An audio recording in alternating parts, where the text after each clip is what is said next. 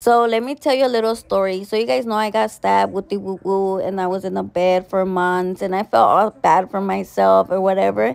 Then one day they brought me a wheelchair and I was like, a wheelchair? That's not for me. But uh, they put me in it and I saw my reflection. I remember I saw my reflection. I saw this skinny little thing with skinny ass legs and a contracted arm. And I was like, fuck no, this is not gonna be my life. I don't wanna live. I'd rather die.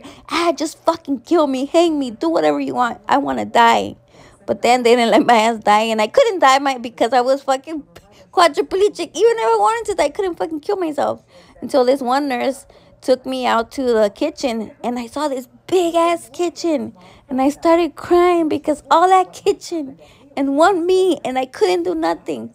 Cooking to me is fucking life. Cooking to me is familia. You have some fucking food, some friends, some familia, and you could fuck everything like fuck everybody else. The only people that